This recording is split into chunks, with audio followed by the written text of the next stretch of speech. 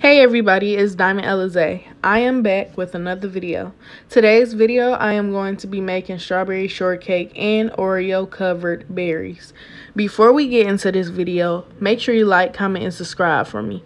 You will need Oreos, strawberries, strawberry shortcake crumble, which I got mine from Yum Crumbs, but a lot of people also home make them. So if you want to look up videos for that, you can. Uh, you'll need toothpicks. I only had screwers, so you can use those too.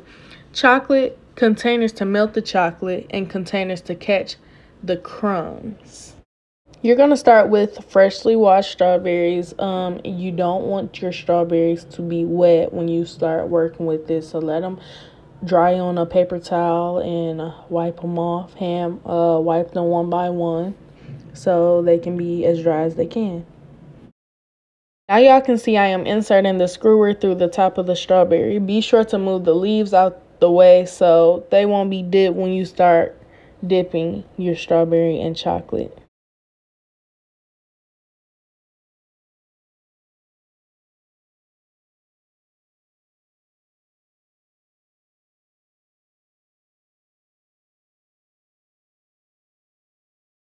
To melt the chocolate, I will be using my Pyrex measuring cup.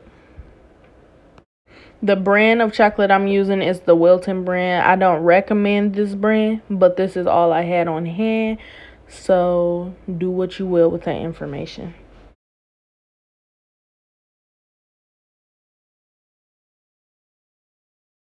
I am putting this mixture in the microwave for two minutes. I am stirring it every 30 seconds to ensure it does not burn. Another not so secret ingredient for silky smooth chocolate is coconut oil. A little goes a long way. Too much will result in a runny chocolate. You do not want that.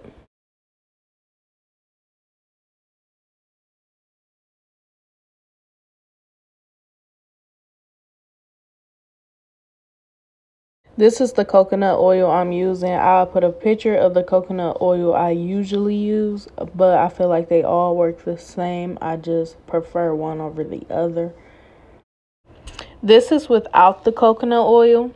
Um, I could have put it in the microwave a little longer, but it's very much so melted. So let me show you with the coconut oil.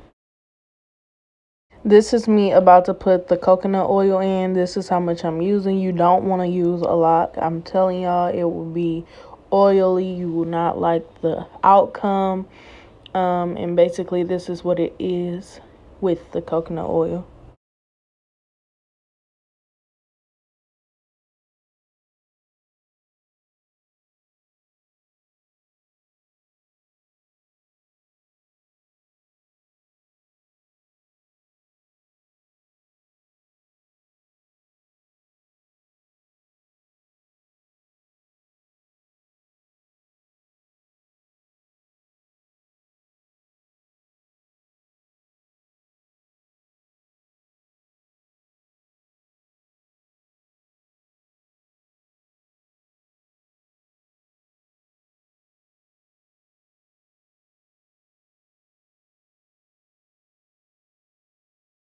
It's time to dip. Make sure you pull up that excess leaf. I say excess leaf.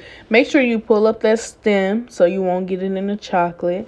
I make sure to shake off the excess chocolate at the end to avoid it being a big runny mess.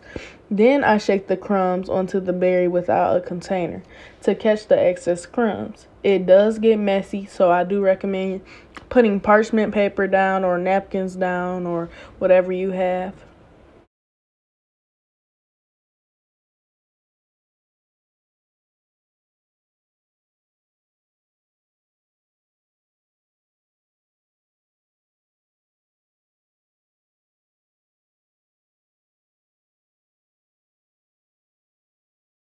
So I'm going to repeat this process until I finish covering six strawberries in total. I'm doing 12 for me. So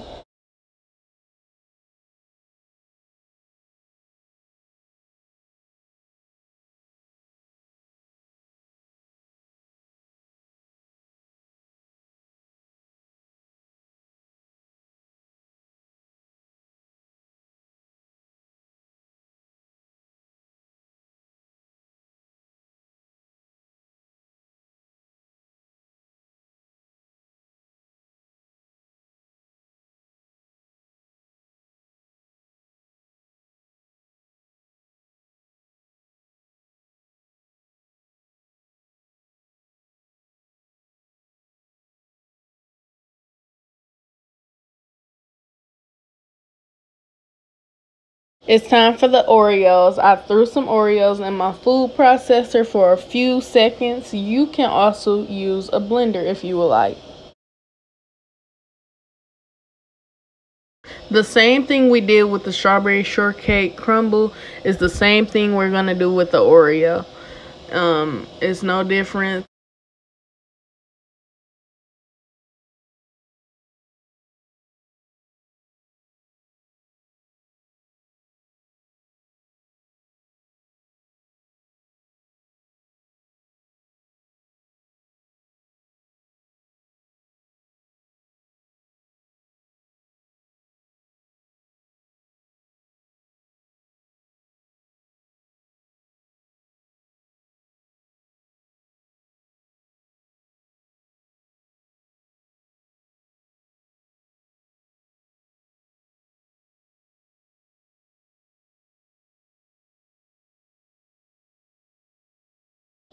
So this is my end result. I have both flavors on this plate right now. If you enjoyed this video, make sure you like, comment, and subscribe. And tell me, let me know what other videos you want to see. Because I'll get them done for you.